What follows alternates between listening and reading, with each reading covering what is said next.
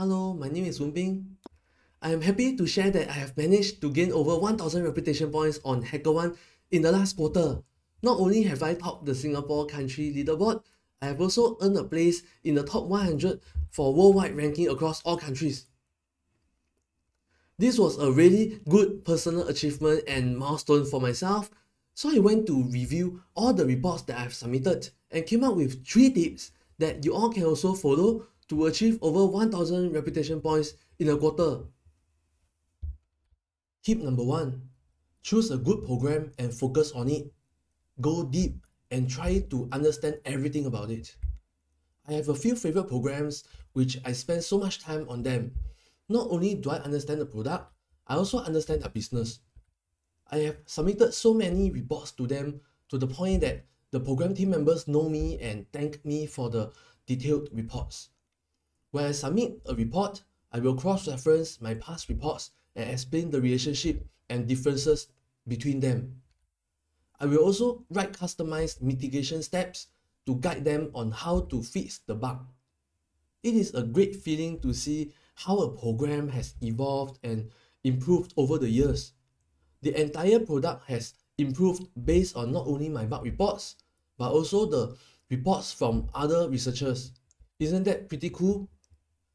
So over the course of a few years working on the program, I also spent time teaching new triagers how to reproduce the bugs and how to set up the environment, the test accounts, and, and sometimes even new employees who join the program as a staff.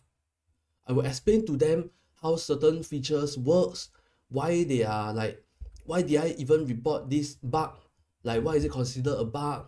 So what what was it uh, trying to do and previously and what is it trying to achieve? So here's the thing. A company will continuously building new applications and features, so investing time and effort to deep dive is always worth it.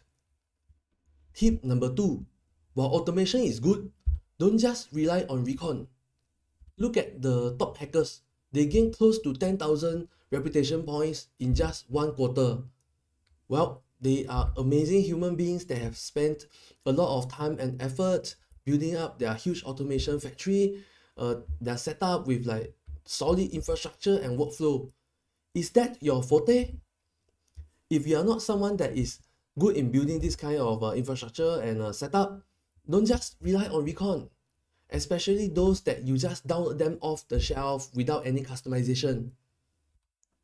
I used to continuously finding duplicates using automation tools also.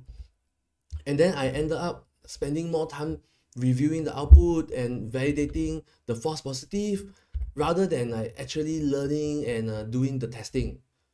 So my my good buddy Samuel Ng, he's one of the the top hacker in Singapore all time, like besides uh, Space Raccoon. So he he heard about my constant reconning and uh, getting duplicates.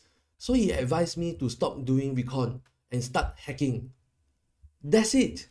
I followed his advice and then I, I start getting multiple valid bugs and and and all the way I am now a, a clear clear member of HackerOne. So don't get me wrong, Recon is good, but unless you have a unique uh, methodology, you are going to get a lot of duplicates. Tip number three, keep trying, don't give up easily, but learn when is the time to move on. Sometimes your report get closed because it was a duplicate or because it was a known issue. So it can be very demoralizing and frustrating. I agree. In addition to the fact that on HackerOne nowadays, it has like become a norm to close issues as duplicate without inviting you to the original report. But come on, think on the bright side. If your report was closed as a duplicate, it means that the bug itself is most likely valid you are on the right track. So if you persevere and still keep getting duplicates, you can review your methodologies. But do remember one thing, you should also review the report ID. If the report ID is too old, it, it might mean that the program is just not uh, having the habit of fixing bugs often. So whatever you find next, it might probably be a duplicate as well. So recently, I submitted a bug the ID was 2 million something for my report. So it was closed as a duplicate of uh, an original report with the ID of like 1.3 million. So based on my experience, that the original report is most likely reported at least six months ago. So that is when I, I, I noticed this uh this program does not fix bugs often. So I have to take the hint and give it a few more tries before uh, actually move on. So and then another thing is that if a program always tell you something is a known issue without providing you any details because everything is internally known information only, aha, time to move on.